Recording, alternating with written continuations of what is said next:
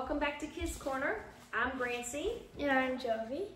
and we have some things that we hope will help you with school starting that we wanted to share. It's called A Shy Person's Guide to Making Friends at School. Why would we need to do that, Jovi? Because a lot of us struggle to talk to new people at school. But meeting new people does not have to be scary. Okay, so these are some things we can remember. Yeah. All right. So number one, use conversation starters to get. So that means think of something that might be interesting, and then, or just might kind of open the door to a conversation. Like, Jovi, I really like those pants. Where'd you get those? Oh yeah, I got them from Target. Thank you. All right. Second one, you take that one. Spend time with your friends' friends. Hanging out with friends of friends can be a great way to meet new people. It's always less awkward if you have someone to introduce you and something to talk about. Okay, so let's see if we know, if we could explain that. Um, let's say you have a friend named Allie, Mm-hmm. I do. and I know Allie, but I don't know you, but I know y'all are friends. Mm-hmm.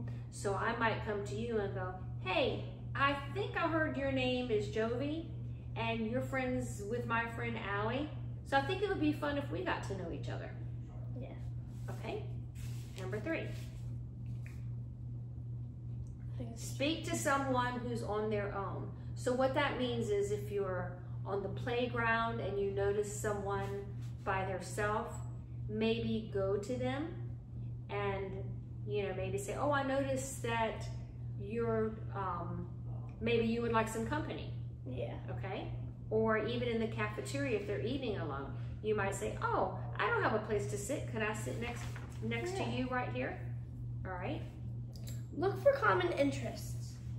So you're thinking in your mind maybe, oh, I love that girl's One Direction badge. So you decide to tell her, your your badge is great. I like One Direction too. And they would probably say something like, thanks, who's your favorite member? Okay. Very good. So you're having something in common with somebody. Yeah. All right. Be approachable. That means if you're out on the playground and you're just on your phone, someone's probably not going to come up to you to talk with you because they'll think that you're busy or you're not interested. Yeah. Or if you keep headphones on or earphones, you would Yeah. pay attention. Or sometimes people just kind of have a little scowl on their face, like they look angry, or they keep their hood over their head and just Yeah. look like they don't want anybody to bother them. So if you want to meet new people, you have to be approachable. Okay, and what's our last one? Ask open questions. So open So- questions are what? Questions that can have an answer more than just yes or no. Yeah. Okay. So there is the wrong way to ask open questions and the right way to. So the wrong way is, did you have a good summer?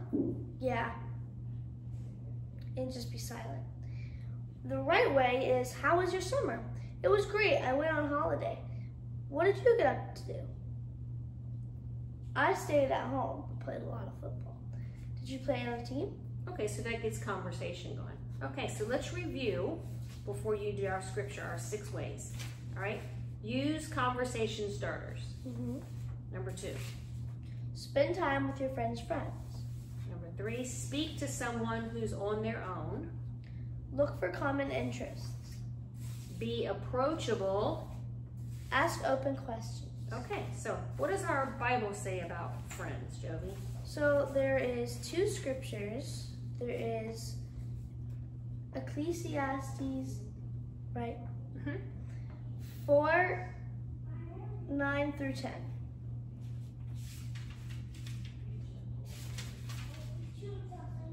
Two are better than one because they have a good reward for their toil.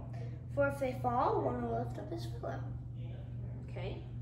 So that means if there's one person, if they need help with something, it'll just be their own. But if you're with a friend, and it's two people, then if someone needs help with something, then they'll help them. Okay, like with homework Yeah. or with building something, Yeah. right? Okay, and what's our other one? Luke 6:31. And as you wish that others would do you do do to you, do so to them. that means that would you want someone to trip you? I wouldn't. Would you want someone to punch you? Nope. You want to want someone to be mean to you? If you do that to them, what if they do it back to you?